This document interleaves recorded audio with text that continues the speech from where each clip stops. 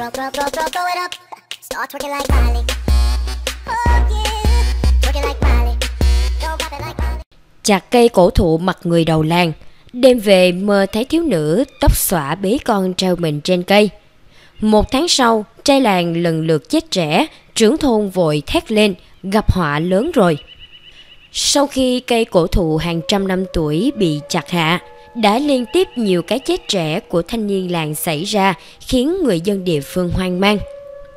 Nhiều lời đồn đầy vẻ ma mị về sự trừng phạt của thần linh được theo dệt nên.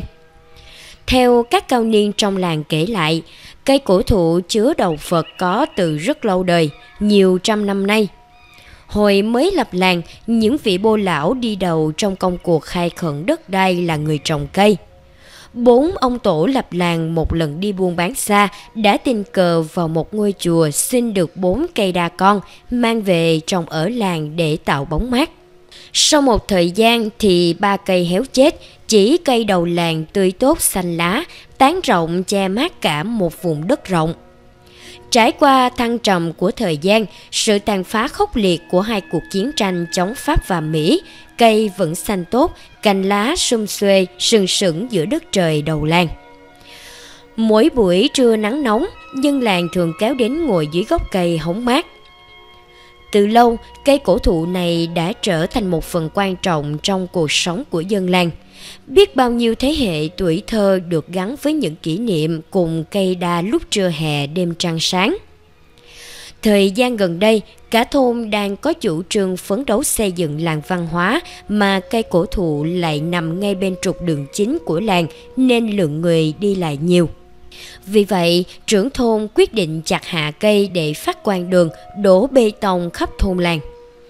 Theo chỉ định của trưởng thôn, sáng hôm đó, một nhóm thợ nề vác cưa ra đốn hạ cây đa đầu làng theo sự chỉ định của trưởng thôn để sửa sang lại đường.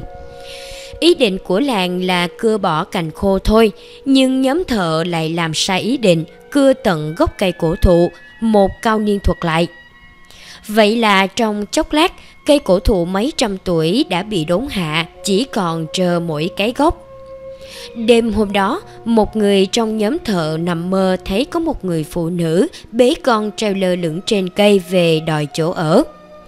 Sáng hôm sau, anh kể cho mọi người nghe và bắt đầu từ đó nhiều lời đồn đoán về cây cổ thụ.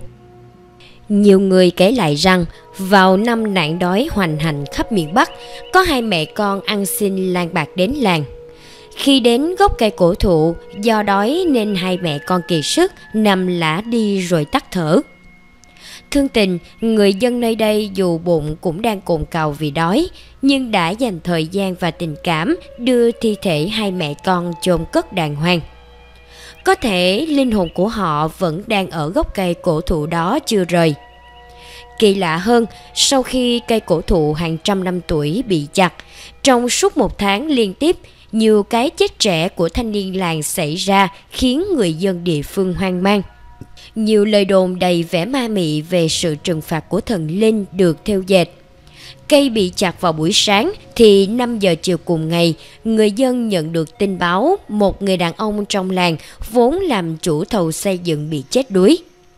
20 ngày sau, người dân làng lại bàng hoàng trước sự ra đi của một thanh niên làm thuê ở Lào bị tai nạn lao động mà chết thảm. Trong khi đang làm nhiệm vụ kéo đường dây cho công ty truyền tải điện thì cậu ấy bị cột điện đè xuống chết tại chỗ, một người dân kể. Ít lâu sau, một thanh niên trong làng ra đồng bắt lương thì bị sét đánh chết. Ba cái chết trẻ, ba đám tang liên tiếp nhau ở trong làng khiến không khí trong làng trầm xuống. Những cái chết này dân làng đều cho rằng có liên quan đến việc cây thiên bị chặt hạ. Không chỉ có người chết, sau khi cây bị chặt hạ, trong một thời gian ngắn, ba người trong làng phát hiện bị bệnh ung thư. Thấy tai họa cứ giáng xuống liên tục như vậy khiến mọi người hoang mang. Nhiều gia đình ở gần cây cổ thụ vì quá lo sợ liền soạn lễ vật ra gốc cây cúng bái suốt nhiều ngày trời. Một số người thân của những người gặp nạn vì quá đau buồn nên cũng nghi nghi và tìm nơi đổ lỗi là cây cổ thụ. Có kẻ mê tín độc miệng cho rằng Cây cổ thụ là nơi trú ngụ của rất nhiều thần linh, là bình phong che chở cho cả làng. Việc đốn hạ cây đã khiến cho các vị thần trong cây không có nơi trú ngụ, làng không còn được thần cây bảo vệ nên bị ma quỷ hoành hành. Do vậy mà thời gian gần đây, người dân làng gặp nhiều tai họa. Tuy nhiên, sự thật không ai biết rằng những cái chết trẻ xảy ra trong làng thực chất chỉ là những sự việc được báo trước hoặc là những trùng hợp ngẫu nhiên. Người dân chỉ mượn cớ đổ lỗi cho nó để nhằm xoa dịu đi nỗi đau thương mất mát của mình.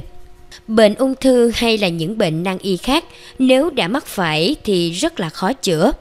Bệnh nhân buộc phải chống chọi với căn bệnh cho đến khi ra đi.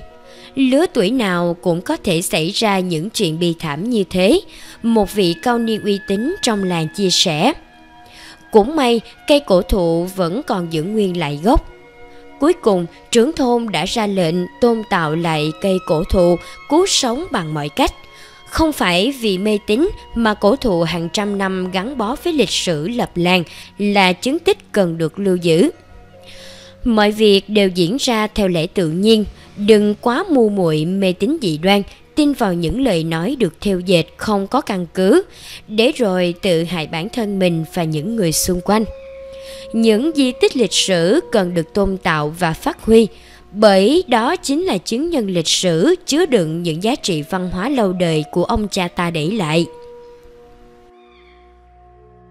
Xin chân thành cảm ơn các bạn đã dành chút thời gian để theo dõi kênh của chúng tôi.